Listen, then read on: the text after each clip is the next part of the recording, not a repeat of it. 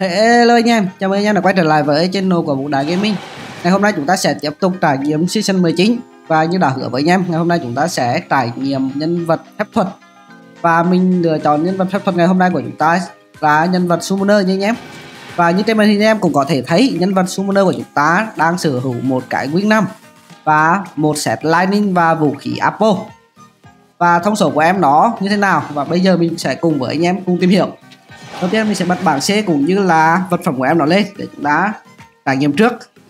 Và anh em có thể thấy không? Đập vào mắt của anh em, đó chính là 48.000 wit dam cơ bản và 113.000 wit dam tăng thêm. Và mình nghĩ đây là một lỗi anh em ạ. à một cái lỗi sau khi mà anh em bút skill á cái sân khơ lên đấy skill bút của nó búp lên thì nó hơi bị ảo tí anh em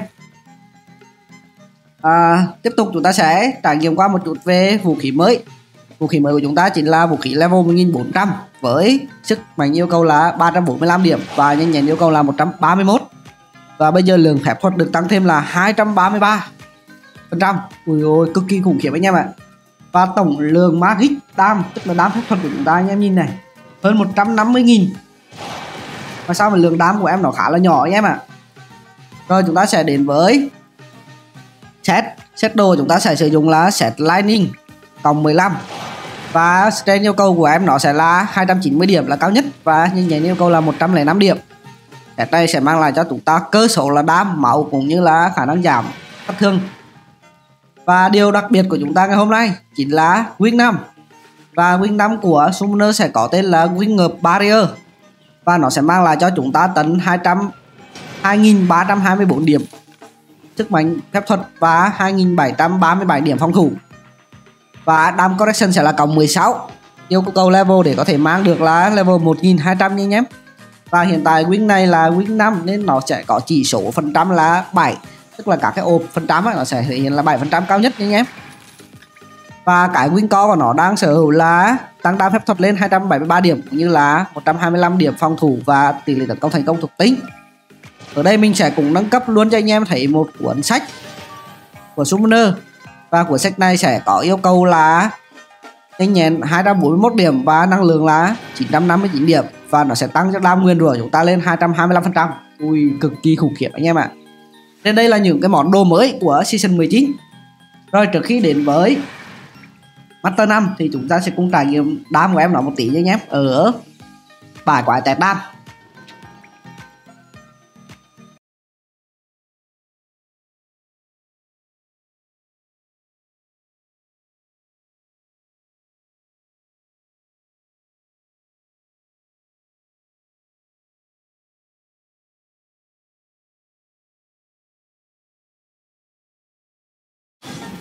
cũng không là quá là cao so với DK cũng như là GL mình là trẻ từ đó.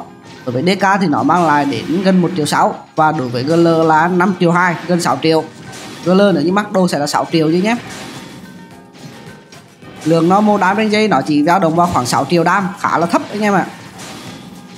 Và anh em có thể thấy đây là skill mới của Summoner.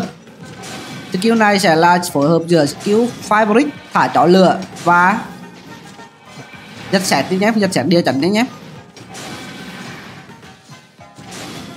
Một triệu ba trăm hai mươi ba nghìn đao anh em ạ. Rồi, với một lượng đám như vậy và khả năng đi trên như này thì em nó đi PVP ở bãi quái map Iceland như làm sao. Mình sẽ cùng với anh em đi trải nghiệm ngay bây giờ luôn.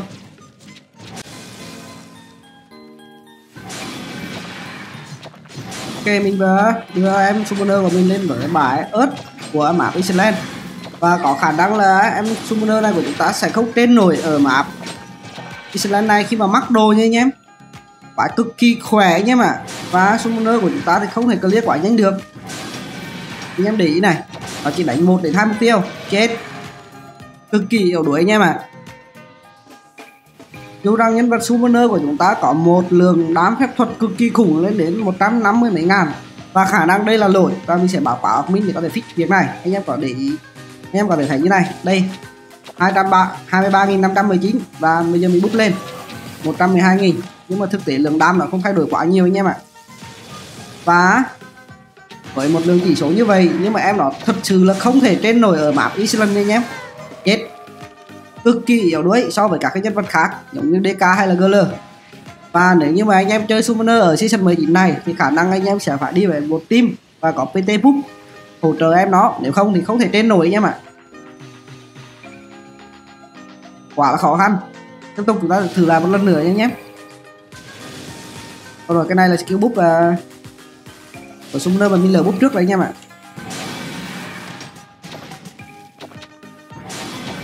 Rồi chúng ta sẽ đánh từ ngoài bài vào. Phải tạt một hit gần 8 ngàn. 8 ngàn máu. Ui rồi ôi. Cái bơi gì nữa anh em?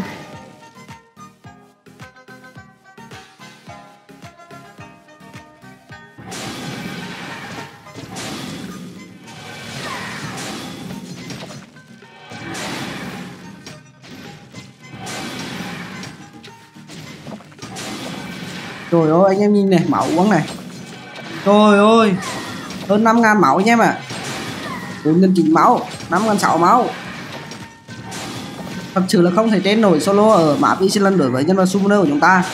Dù rằng lượng đam tối đa mang lại vẫn là 1 triệu 152 nghìn đam. Nhưng mà quả Iceland nó quá khỏe đi anh em. Chết. Đó, chỉ cần bị choáng một cái là chết thôi anh em ạ. À. Rồi để có thể sâu cho anh em được bảng Master 5 thì mình sẽ đưa nhân vật này về lại với map Daviath ở bãi Tedam và chúng ta sẽ cùng tìm hiểu về Master 5 thì chúng ta không thể trên nổi ở map này rồi.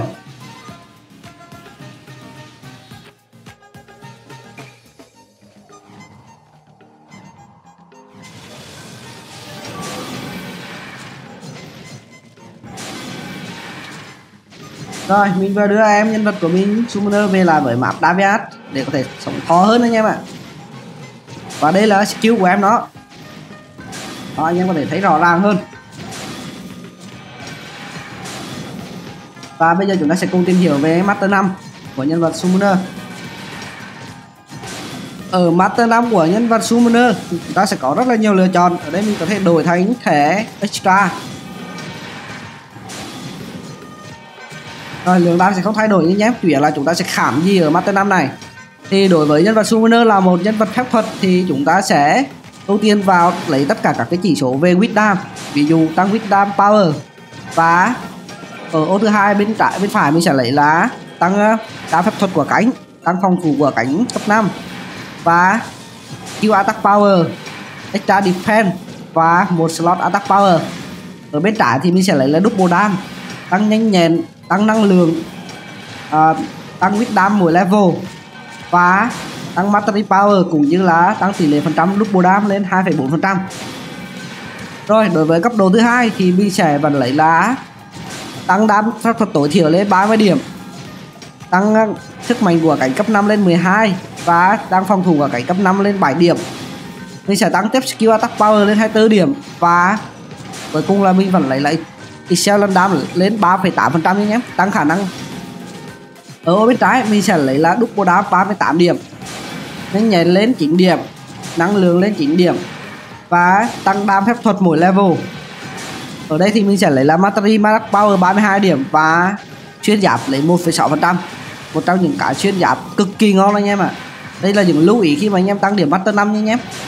Rồi đối với cấp độ thứ ba thì cũng tương tự như ở cấp độ thứ hai. Vì mình sẽ thay đổi ở thẻ elite tức là thẻ tinh nhanh ở thẻ tinh nhanh mình sẽ lấy lá thêm đam vào các skill.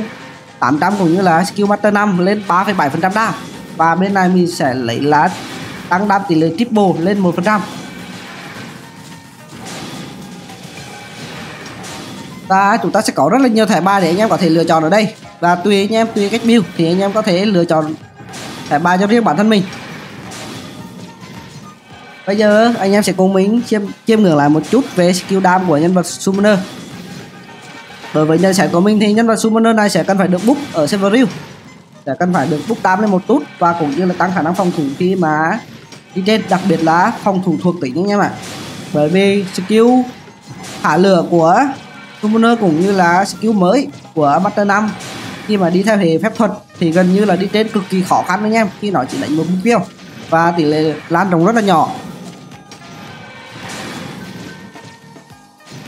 Đó anh em có thể thấy đam cao nhất cũng chỉ là 1 triệu 323 nghìn. Thấp hơn rất nhiều so với các cái nhân vật vật lý. Và đây là một cái lỗi anh em đây là một cái lỗi khi mà nó có thể book with đam lên tận là 113.000 8 phép thuật tăng thêm đây là một lỗi của season 19 và chắc chắn admin sẽ phải chỉnh sửa điều này lại.